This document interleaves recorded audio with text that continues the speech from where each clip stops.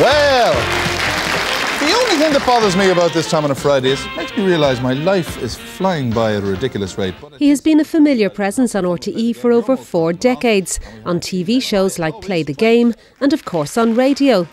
Ronan Collins is best known for his afternoon music show, where he displayed his wide ranging knowledge of music and, of course, played listeners' requests. Today he announced he's stepping away from daily broadcasting. I will miss the programme, I'll miss the connection with the, the listeners um, who've been my friends through the years, you know, so I'll miss, I'll miss all that. But I'll still be doing other things, and they're all, they're all music related, which is what I've always done. And um, I'm very grateful for all the opportunities that I've had through the years, you know. Ronan's also a musician with a long association with show bands, and he'll be performing with his own band when his new bank holiday show begins.